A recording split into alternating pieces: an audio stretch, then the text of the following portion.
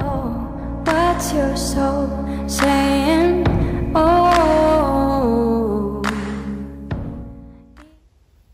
Hello guys, thank you for joining me today for this small DM to DF reading. I do hope you're well and staying focused, believing and trusting in what you already know. So I'm going to be using the Divine Masculine 101s from Beautiful Liz from Guided by Angels to get communication from your Divine Masculine, um, to see what they want to share and express right now in this moment if you're listening and viewing this reading.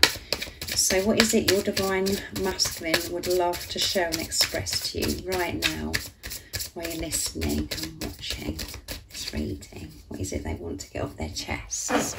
Nice clear message please, Divine Masculines. Your love drives me crazy. Yeah, this love does drive you crazy, and they're feeling this craziness today. They love you so much. Please forgive me for ignoring you. So if your divine masculine, you know, hasn't replied to you, you've sent a message and it just feels as if they're ignoring you. They're not ignoring you. They're just overwhelmed with this crazy journey. They're so in love with you. There's so many, so much going on, on with them, that what they're trying to sort out, and they want you to forgive them for not getting back to you.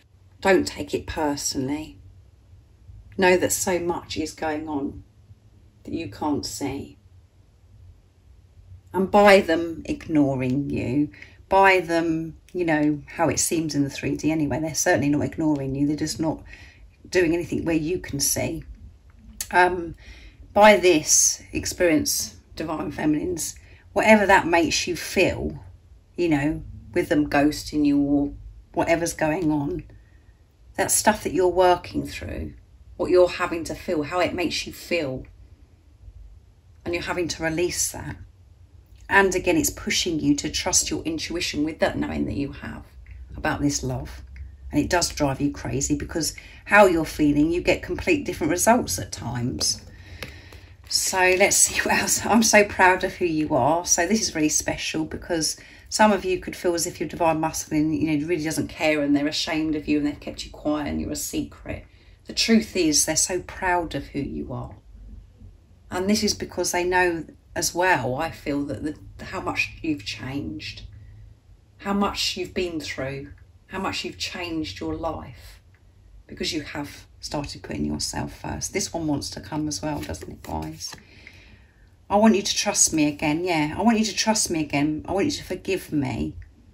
I know that I've ignored you. I know I've pushed you away, but I want you to trust me again. And the way to trust your divine masculine is to trust yourself and to completely delete and to get those visions or those experiences out of your head and actually see your divine masculine as your divine masculine. Not to get caught up in the 3D and do what it is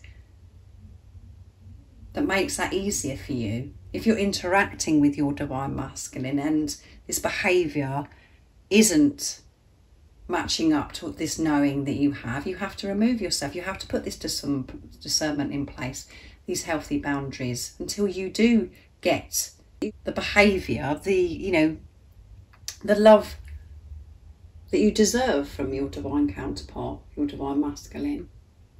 So again, it's just about you knowing your worth and trust yourself and be proud of yourself. And we all can be proud of ourselves when we're in our truth.